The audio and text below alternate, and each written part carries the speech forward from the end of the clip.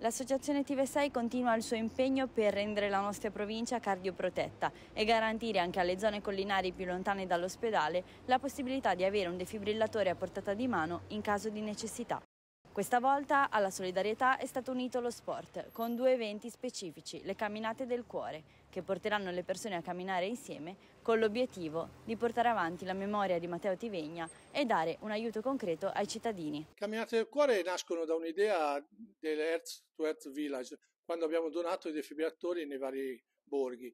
Da lì, nel momento della donazione, partiva un processo di solidarietà per donarlo a un altro borgo. Allora è venuta uh, l'idea di fare delle camminate nei luoghi in cui abbiamo donato i defibrillatori. Quindi noi partiamo il 15 ottobre da Trebbiano per arrivare a Solaro, quindi toccando i, i, i borghi di Cerri, di Pugliola e arrivando a Solare e con l'obiettivo di donare il defibrillatore a Cerri e Solaro che ne sono sprovvisti. La domenica successiva Partiremo da Maggiano e arriveremo a Sarbia con l'obiettivo di donare il defibrillatore a Sarbia. L'altro obiettivo importante, oltre alla donazione effettiva nel borgo di, di, Sarbia è quello di donarlo al borgo di Campiglia. Noi invitiamo tutti i cittadini a partecipare, possono andare online sul sito dell'associazione e iscriversi, oppure venire alle nove e mezzo la mattina delle, dell'iniziativa e iscriversi fisicamente sul posto.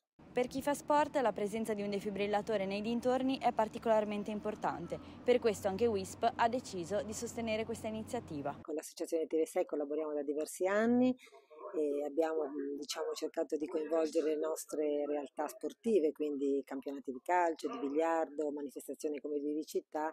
Parte di queste nostre diciamo, iniziative hanno in qualche modo permesso la, l'acquisto di defibrillatori. La presenza di un defibrillatore e la necessità di volontari che sappiano usarlo va a rafforzare il senso di comunità che si respira soprattutto nei borghi. Il COP sostiene questa attività da un po' di tempo proprio per i valori che sono in, in questa attività e soprattutto il tema della comunità, per cui con delle azioni fatte insieme si riesce ad avere dei risultati che ricadono come utilità sociale su tutto il territorio.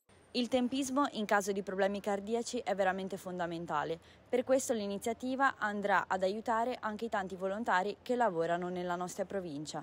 Sì, fa la differenza perché nei primi sette minuti l'intervento deve essere importantissimo. Quindi progetto, questo progetto è molto importante appunto specialmente nei luoghi molto lontani dai pronto soccorso, dalle, dalle postazioni di, di, pronto soccorso di ambulanze.